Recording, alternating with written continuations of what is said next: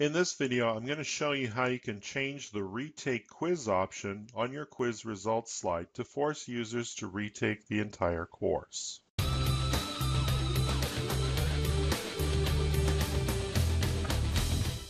Okay, so this comes from a question that I got from Joan.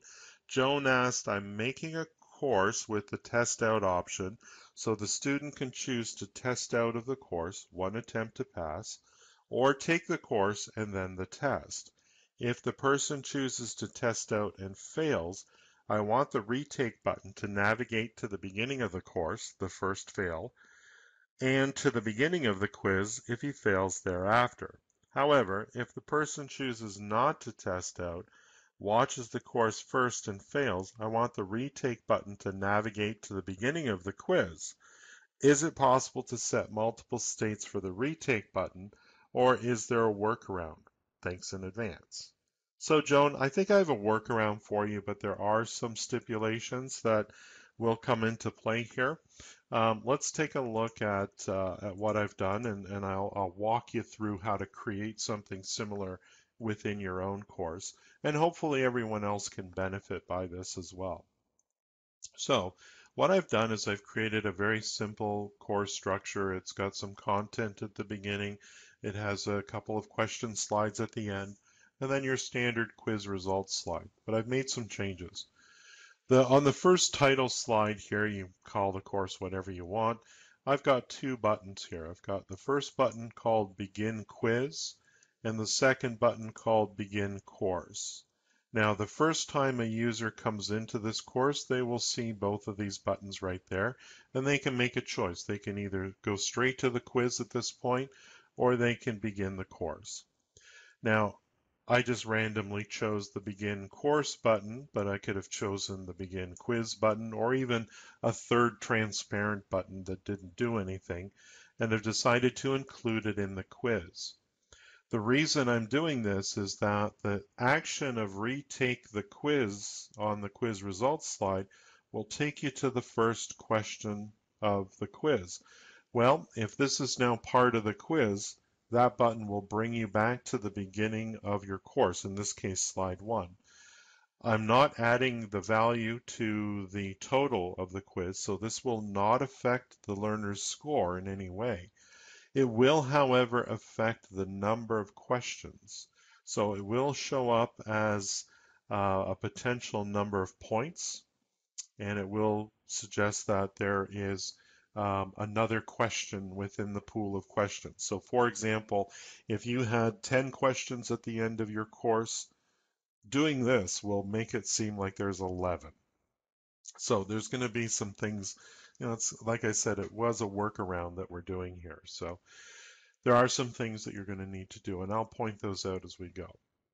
So if the user decides to begin the course, they'll simply be brought to the, the course content. I've created just some dummy pages here. On the last page of the course content, I have uh, an on enter action where I simply ass assign a variable that I created. And this variable, I called it variable underscore content underscore viewed. Uh, its default value was zero, but uh, when you arrive at this slide, in other words, you've looked at the course content, so we're assigning that a value of one right?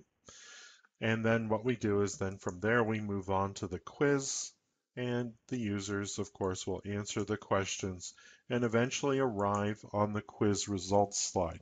Now here's where some things actually happen. Oh, and incidentally, uh, if you happen to have um, the question three of three, question three uh, or two of three, and so on, um, this is not going to report correctly. Uh, it's going to tell you that there are four questions because again that that uh, button on the very first page is included in the quiz. So you may wish to delete this from being on your uh, quiz question slides. So back to the quiz results slide. A couple things I've done here. I've relabeled um, and you can use whatever terminology you wish. I just said redo, as in redo course or redo quiz. It's somewhat ambiguous. Uh, and then of course I have exit uh, course, which is uh, my action on successfully completing this course is exit. So I changed it from continue to exit. The other thing that I did was uh, with the quiz properties inspector, um, you of course have this uh, choices of the items that you wish to display. Again, because the number of quiz questions is affected by creating that uh, that button that's included in the quiz, I unchecked it. I unchecked correct questions, and I unchecked total questions, and then I respaced everything out so it doesn't show that information. Um, it would be ideal to have that information, but unfortunately the numbers are going to be incorrect and it will just confuse your learners. What they will see, of course, is how many points they scored, what the maximum score was, and the percentage that that works out to, which really is what's important in the end. So um, on this page as well, I've created an advanced action on the loading of this page. Let me show you what's involved in this. So I created this, I just called it course content. It could be whatever you wanted to call it.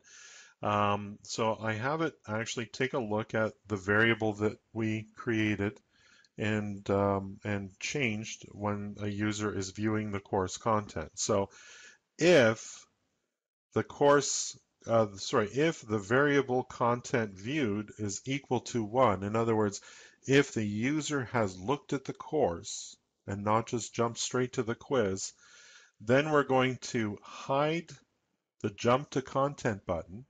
Remember, that's on the first page. And then we're going to show the jump to quiz button. Else, right, in other words, if this isn't true, then we'll show the jump to content button and hide the jump to quiz button.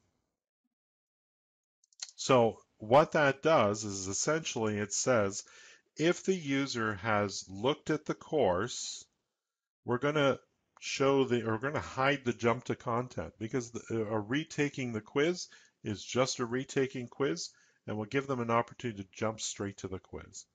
If they didn't view the content, we're going to hide the quiz button and force them now to view the content because you know clearly they didn't pass the course they need to learn what it is that they need to learn.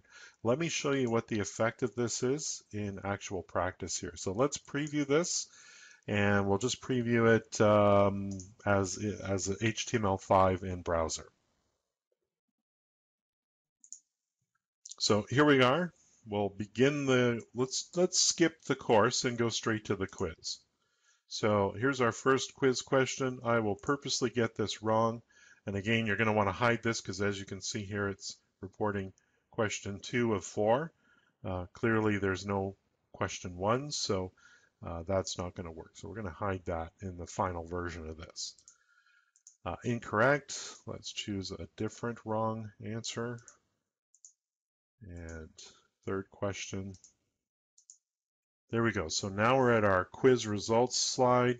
I got zero out of a maximum score of 30, and therefore I get 0% and I've got one attempt under my belt. So I can, uh, of course, I can exit the course, um, but I'm going to redo this, right? And this is going to bring me back to the very first slide of the course. Notice the quiz, jump to quiz button is gone.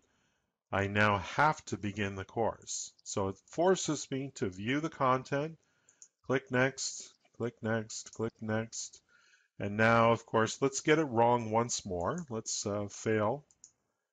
So we'll just choose some wrong answers here. I'll get one correct answer.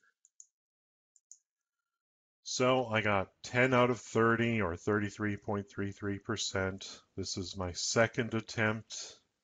Still not a very great result. I'm going to redo, which is going to take me back to that first, uh, first slide again. But this time, begin quiz. So it jumps me straight to the quiz. I don't have to view the content at this point. So let's pass it this time.